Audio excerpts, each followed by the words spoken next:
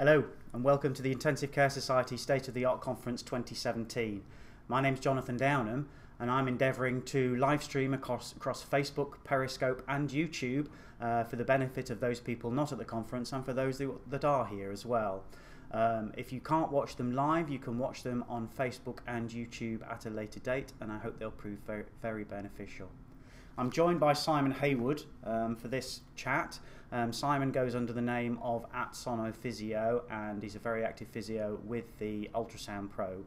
Um, and he's presented a poster at this year's conference, um, and the uh, title of the poster is "Lung Ultrasound Can Optimize the Sequence of Medical uh, and Physiotherapy Treatments During a Lung Whiteout: A Case Report." And that's the paper that you can see behind us there. So, without further ado, I'm going to let Simon tell you all about this.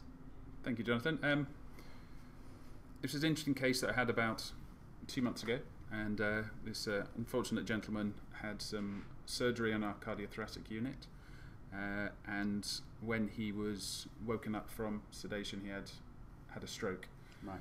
He then had a compromised uh, cough as a result, so we were doing a lot of work with him to uh, maintain his airway clearance, uh, and at a later point, a few days later, he started to deteriorate a little bit requiring uh, increased oxygen.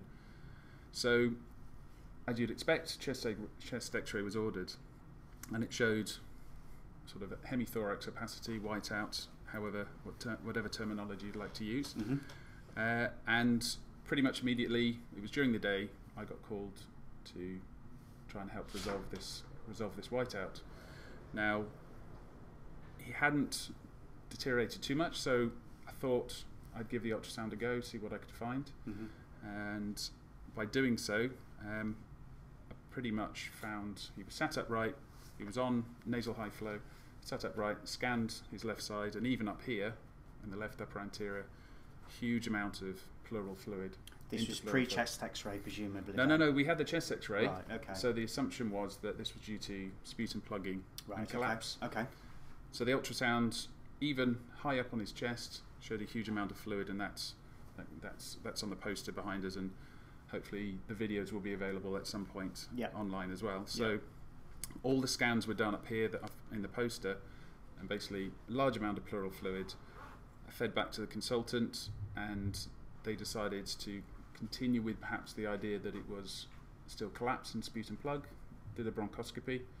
I then had the opportunity to scan again after that and it had showed very little difference. There had been no change in the pleural fluid okay. volume, as you'd so, understand. So, which of these diagrams are we at at the moment? So, if we're going from the top one. So, we, so if we go from, uh, got to get used to this, uh, that one there. That one there. Yeah, that one there. So, we're on to the. That's the x ray. That's the x ray. That's the first scan. Okay. Second scan down here. I don't okay. think the resolution is particularly good on uh, here. Okay. But it showed no real difference, as you'd expect in the pleural fluid, and there was no significant plug whatsoever. Okay. So another discussion, so another scan, another discussion, and then a drain was inserted at that point, which just elicited a huge amount of fluid that just came out of this left chest. Right. Okay. And on the poster, you know, it was it was in excess of three liters, three and a half liters. Okay.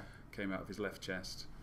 Scanned again after that, because I thought I'm just going to get a serial, a number of serial scans to track this change through. The the third scan showed very edematous lung tissue, so Mhm. it wasn't fully aerated. It was a Mhm. mixture of edematous lung and aerated lung. Uh, proceeded to use some positive pressure with him at this point because he was now he was now awake. They had uh, obviously sedated him for the bronchoscopy, but he was now awake again. Used some positive pressure with him, and then that returned that to normal aerated lung presentation on ultrasound with the A lines. So, and then just to, just so everybody could make sure another chest X-ray at the end of it. Of course. To uh, to make for that that before and after comparison. So a couple of questions really. Um, What difference do you think using the ultrasound made? Had we not used the ultrasound, what difference would that have made?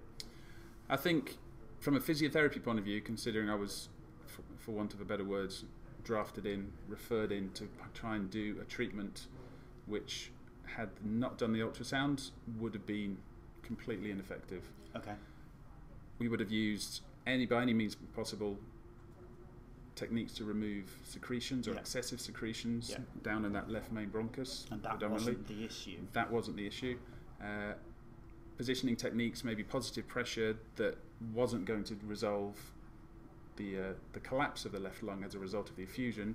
Who knows? Maybe some trauma on the other side. Yeah. You know, if you're hyperinflating the other side. Yeah. So fundamentally, the ultrasounds differentiated between the reasons that the whiteout had occurred. And for want of a better expression, made my role at that point, hence the optimization and the sequencing, my role at that point was not necessary, but came in a bit later on once another Sure. treatment had been Okay. instigated. So it stopped us doing pointless treatment and it made sure that we went down the right pathway rather than trying something first, didn't work, okay, well, let's try the next thing. In this situation, they still tried it. Yes. They still tried in this, which kind of gave the case report a little bit of a different spin, Okay, uh, and was interesting discussions backwards and forwards with the with the team. okay, Uh, but as you said, it was not doing an incorrect treatment, and who knows how long it would have been before that was realised. yes, okay, okay. So hopefully it, It- brought it- the right treatment expedited, forward. yeah. Okay. Hopefully, it And- and expedited. the other question that occurs to me, and I'm not necessarily advocating this because I know some people might start muttering under their breath as they hear this, but if you didn't have an x ray at either end, so if you hadn't got the, the pre condition x ray and the post condition x ray, could you, with the ultrasound in your hand, have done the same thing, got to the same conclusion, and treated the patient in the right way? The the initiation of the imaging or the chest imaging as, as a result of the deterioration in the gases and the requirement, oxygen requirements, Mm-hmm.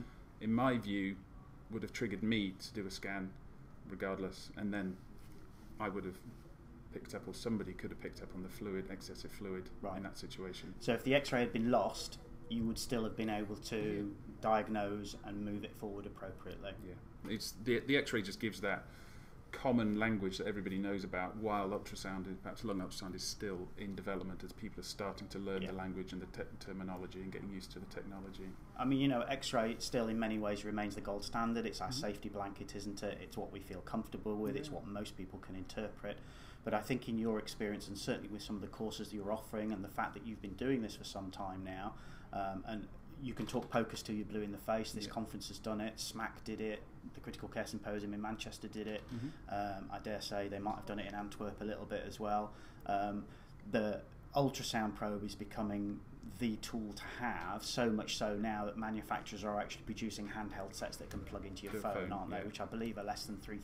Yeah. Sounds like a lot of money, but you know, maybe in, I don't know, five years' time, they're probably going to be £300. You could probably get the iPhone or the. Uh, Yeah.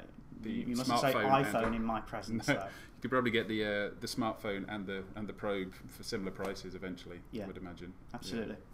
Thanks, Simon. That's No really problem. interesting. Really interesting. A positive outcome. Um, some of your skills being used in a completely the appropriate Mm. way, and a good conclusion for the patient because it meant that we didn't drag out their, pro- Exactly, their, their the process that was going to make them better.